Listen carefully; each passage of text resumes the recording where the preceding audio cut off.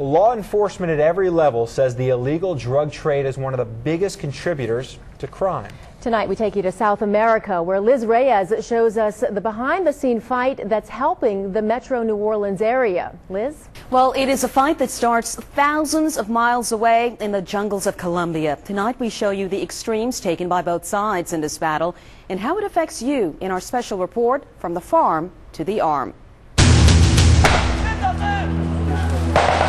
Hard illegal drugs on the streets are playing a major role in crime, according to the DEA. And they say crack cocaine and heroin are two of the biggest threats to the metro New Orleans area, fueling the violent crimes, with drug dealers fighting over control of territories and users committing crimes to get their next hit to inhale or inject. The vast majority of all crimes that are committed uh, at some point have some correlation or, or is directly connected to illegal drugs. Recently, the DEA received a tip from the Colombian National Police in South America that led DEA agents to a ship docked at the port of New Orleans, Napoleon Avenue Wharf, where they seize 450 kilograms of cocaine. It's a substantial hit uh, in somebody's pocket. Street value? At least $10 million of drugs removed from New Orleans neighborhoods. Jimmy Fox, a special agent in charge of the DEA in New Orleans, says most of the drugs seized in this area are from Houston, but they originate here in South America. These pictures taken in the jungles of Colombia show the types of makeshift manufacturing labs used to produce the drugs, which are transported mostly by boat to Mexico.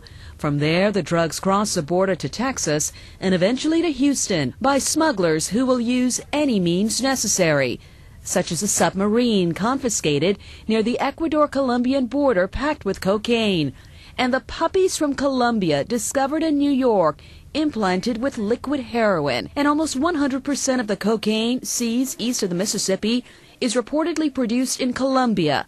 The top DEA man based in Bogota says behind the scenes intelligence from Colombia has been significant. Based on the work that they are. They're working an investigation. I could connect that dot to something going on in New York, something going on in New Orleans, something going in, going on in Gulfport. Bergman says few people realize that Colombia is now a key partner for American law enforcement in the war on drug cartels. No longer is it the violence-plagued nation as was the case during the days of drug lord Pablo Escobar. Here in Bogota, Colombia, many people will tell you they are tired of hearing about the nation's connection to illegal drugs. While they admit it is a problem, they say it paints all Colombians with a negative brush.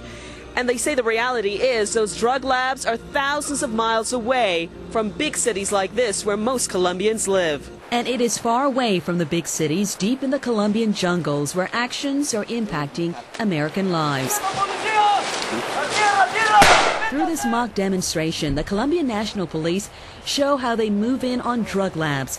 It is a method that's reportedly reducing the amount of drugs leaving the country. And this is the National Police Chief of Colombia, General Oscar Naranjo, who the DEA credits with a major role in the success of intercepting the transportation of illegal drugs. This was him recently in Orlando at the International Association of Chiefs of Police Convention. He is world renowned for his expertise on dismantling drug cartels because he spent the past 30 years doing just that. He now heads up the 170,000 strong Colombian police force that's targeting drug smugglers.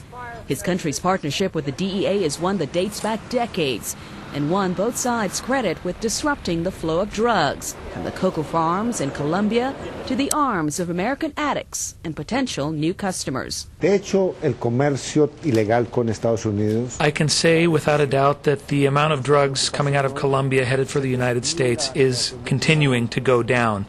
And what we have seen is that the Latin American drug traffickers are now looking for new routes and new markets for their drugs. He says instead of only South American routes, drug smugglers are now seeking new routes via West Africa and Europe to reach the U.S. because of Colombia's relentless destruction of the farms which produce the drugs.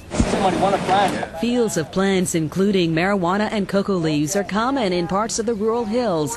Except here, it's grown and controlled by the police. and it's now a testing ground. This is the acid water. A perfect incubator, you can say, to learn what best destroys these plants.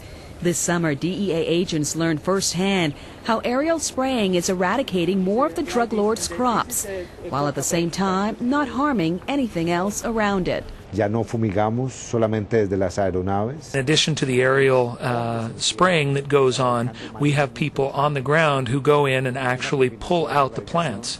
And so by combining these two efforts, we have been able to be much more successful. And I should emphasize that over the last eight years, the United States and Colombia have captured over 1,000 of the leaders of the different drug cartels all of them wanted by the U.S. justice system, and they have been extradited to the United States to face trial. The result Colombia's worldwide cocaine production has reportedly dropped nearly in half, from 94% to 52, according to the general. Clearly, it is a priority for the newly elected president, Juan Manuel Santos, who had this to say when I asked him in Bogota. What are you going to do to help win that fight that everyone's concerned about?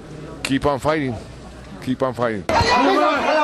It is a fight that's now shifted to Mexico. DEA agents say Mexico's drug traffickers now control most of the U.S. drug markets. Much of what ends up in the metro New Orleans area is connected to the big cartels based in Mexico.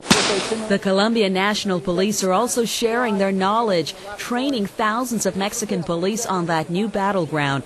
It is a fight that also stresses the educational component, such as this exhibit at the downtown Old U.S. Mint, which showcases the dangers of illegal drug use. As perception of harm increases, drug use decreases. A trend law enforcement hope continues for the sake of the countless lives affected by the drug fueled violent crime in the metropolitan New Orleans area.